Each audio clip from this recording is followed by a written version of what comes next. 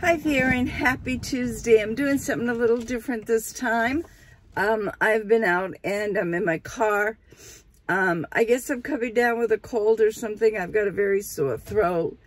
So um, I'm not going to be doing much. I had to go do an errand. So when I was out, guess what? I stopped and got some sweet tea. That's right, with a lemon. Hopefully it'll make my throat feel better. Oh, Miss Maggie's in the back here. She's being quiet. When we go in the house, we're going to take a nap. I just want to know what everybody's doing today on Tea Tuesday. I'm sitting in my backyard. You can see the trees. We live we live in the woods. Um, what everybody's drinking for tea. Um, I'll probably have some hot tea and lemon when I get up from my nap. I just, I feel like I need to lay down and rest. And um, it was 67 degrees here today in Maine when I went uptown. Can you believe that? I had to take a drink. As you can see behind me, the sun's out beautifully. Um, I did work on some pocket letters and I sent them out and I made my first tassel. Um, maybe I can insert the pocket letter at the end of this video. I, excuse me, I am still, don't have the tassels down, how to hook the little like charm on. I just tied it. So give me your opinion. What am I doing wrong? What do I need to do wrong? Oh, oh you're going to give it to me, Maggie? I have the round rings but I did not know how to insert them in. Um, I had wrapped the ribbon that I used around cardboard and then I just inserted another one and just pulled it. Um, you can see when I'll insert a picture of a few pocket letters. It's okay, Maggie. I have snacks in the car for Maggie. Right here. It's beef flavored wraps made with real beef. Oh, Miss Maggie, she gets nothing but the best. Right, Miss Mag? Um, so I did two pocket letters. And if I feel better tonight, I'll make a couple more. It all depends how I feel. Um, I did get two and I mailed them out. I'm not going to say who they're going to because they're a surprise. They don't know they're getting them.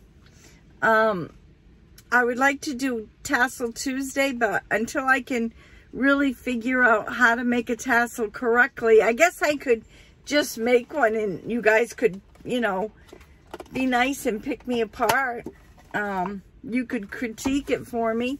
But what I did is I took a piece of cardboard about that, about that long and about that wide, and I wrapped it 10 times around and then I put a string kind of in the middle and I tied it. And then I cut the bottom off and took it off the cardboard. And then at the top, I made another, you know, looks like that. And then I tied it. And then I hung a charm off. I didn't know what I was doing. Um, oh, well, I tried, right? That's all that matters. Um, I haven't set the world on fire today. I do, like I said, I do need to get some things going. I may make, excuse me, I may make some chili. I did get part of a result back from the heart monitor. Um, my heart is going real slow, my heart rate. And they say that that can make you extremely tired, and that's why I'm so tired too. But we shall know. Excuse me, I don't mean to do this, but it's just part of whatever's going on with me. And um, I really wanted to get out and get things done, but it doesn't look like it. So tell me, what are you crafting? What are you canning? I could can and pickle or dehydrate some green peppers and jalapeno peppers and banana peppers. I still have so many peppers. It's okay, Meg. My dad said, please don't bring any more down because Nobody wants them. They're all tired of peppers. My freezer's filled with peppers. I may just put out on the radio station and fill a five gallon bucket and put a price out there and see if they'll go. I'm sure they will. Um, I've got beautiful, beautiful peppers. And in the garden, we still need to clean it up. It's hard because Mr. Ray's working. Oh, let me tell you, did we have some excitement on Sunday? Ray was sitting on the couch and he says to me, something's itching really bad on the side of my leg. And I said, well, let me see. I'm sitting across the room. So he came over and I said, oh my gosh, that's a tick bite. And it had a bullseye about, oh, about the end of a, about the end of the pencil or like the end of the straw it wasn't real big. It hadn't got real big yet. So it was really red, red, red. And it had the black spot where the tick had embedded. So I told him to go get some Vaseline. So we got some Vaseline. And I said, hopefully that will back it out. So we waited a little bit. Didn't do too much. So then got some surgical gloves on and some tweezers, tweezers. And I went in there and grabbed and dug around a little bit. Ray was brave and I got a hold of it and I pulled that baby. And I think I got at least the head and maybe a leg or two. I ziplocked it. We called the our doctor. And because we live so far in the woods, we have to travel everywhere. We have to travel an hour for the city and hospital and everything. So we called and it took 20 minutes for her to call us back. It's okay. We're going to get out and you can go play. And um, she called and I told her exactly what was wrong. He, Ray asked me to talk with her. So um, I told her mm. about he got a tick bite and how I took it out. And she said, well, he's a diabetic. And I said, yes, he is. She said, well, I'm really concerned about it infection. We need to start an antibiotic real soon. So I said, okay. So it's quarter till nine at night where you, you know, I don't live in a city. I live in a, a town that has no street lights. Um, one store. It's a little tiny gas station. It does everything. A one pump. You get pizza and sandwiches and you can get gas. I mean, that's the extent of where I live. So she said, well, I can call it into the pharmacy on for, oh, this was, yeah, this was Saturday night. I'm, I got confused. Saturday night. You can pick it up Sunday. So Ray said, well, okay. She said, I'd really like for you to go to the emergency room, but all urgent care is closed. St. Mary's Hospital is closed, the ER, and all that is left is CMMC. And she said, and they are overloaded and it would take six to eight hours to get in. She said, and by that time, you're, you're looking at morning. So she said, what I want you to do